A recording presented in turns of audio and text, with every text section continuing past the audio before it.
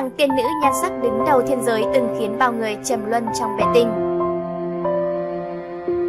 Rất nhiều bộ phim cổ trang hoa ngữ lấy bối cảnh thiên giới từng được phát sóng, trong đó có không ít mỹ nữ được mệnh danh là nhan sắc hàng đầu lục giới.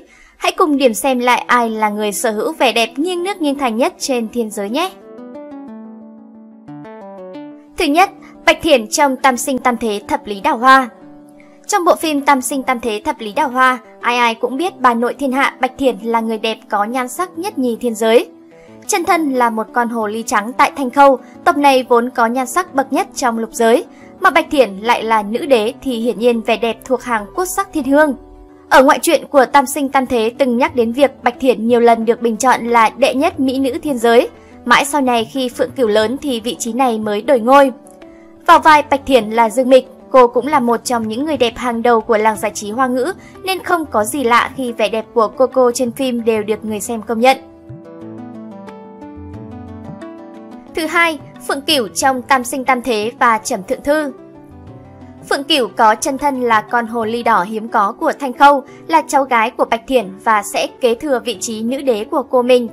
Nhan sắc của Phượng Cửu so với Bạch Thiển là kẻ tám lạng người nửa cân, đến cả độc thân ngàn năm như Đông Hoa Đế Quân cũng phải công nhận nhan sắc của Phượng Cửu. Vào vai tiểu đế cơ Thanh Khâu chính là nữ diễn viên địch lệ nhiệt ba. Cô là một mỹ nữ tân cương nổi tiếng với nhan sắc xinh đẹp vạn người mê. Vai diễn Phượng Cửu đã mang lại cho cô nàng lượng người hâm mộ đông đảo, đưa sự nghiệp của Nhiệt Ba lên hàng diễn viên tuyến 1. Thứ ba, Cẩm Mịch trong Hương mật tựa Khói xương. Trong Hương mật tựa khỏi xương, Cẩm Mịch là con gái của Hoa Thần, người đẹp nhất lục giới. Thế nên khỏi phải bàn cãi đến nhan sắc của Cẩm Mịch, ai cũng sẽ phải ngỡ ngàng khi được chiêm ngưỡng vẻ đẹp mỹ miều ngọt ngào của cô nàng bồ đào này. Cũng bởi có nhan sắc đảo điên chúng sinh mà Cẩm Mịch khiến hai vị điện hạ, con trai của thiên đế tranh giành nhau đến kẻ sống kẻ chết. Quả là anh hùng chẳng qua nổi ải mỹ nhân. Vào vai Cẩm Mịch là nữ diễn viên Dương Tử, cô nàng có diễn xuất tốt đã thuyết phục được trái tim khán giả, khiến ai cũng phải rơi lệ.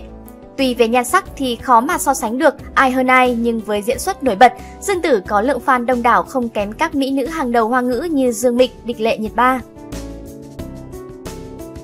Thứ tư, Phượng Khanh Trần trong Túy Linh Lung Không phải thuộc thiên giới nhưng Phượng Khanh Trần lại là thánh vu nữ của vu tộc, một tộc có phép thuật tương tự như tiên giới. Vốn sinh ra đã là thánh nữ ngàn năm có một nên cô mang trong mình một trọng trách vô cùng to lớn là bảo vệ hoàng tộc. Phượng Khanh Trần thông minh, xinh đẹp và vô cùng lương thiện. Cũng bởi vậy mà nam chính Nguyên Lăng dù trải qua hai thời không thì vẫn một lòng vì cô. Vai diễn này do Lưu Thi Thi đảm nhận. Tuy rằng tỷ suất người xem không quá cao do đụng phải sợ kiều chuyện, nhưng Túy Linh Lung vẫn là một bộ phim vô cùng đáng xem.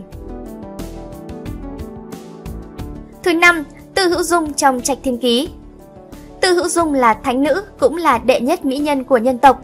Cô nàng vừa thông minh xinh đẹp, tinh thông kiếm thuật, lại mang trong mình dòng máu phượng hoàng. Chỉ bấy nhiêu thôi cũng đủ để cô nàng tỏa sáng. Cũng chính vì thế mà dù Bạch Lạc Hành có yêu trường sinh bao nhiêu thì trái tim của chàng ấy cũng chỉ hướng về Hữu Dung. Vai diễn này do mỹ nữ Tân Cương cổ lực Na Chát đảm nhận. Thế nhưng không may cho cô là dù Na Chát có xinh đẹp thế nào thì khi đứng trước Mỹ Nam sở hữu vẻ đẹp phi giới tính như Lộc Hàm cũng vẫn bị lép vế. Tuy nhiên không thể phủ nhận rằng nếu xét về nữ giới thì Tư Hữu Dung đúng là mỹ nhân số 1 của Trạch Thiên Ký.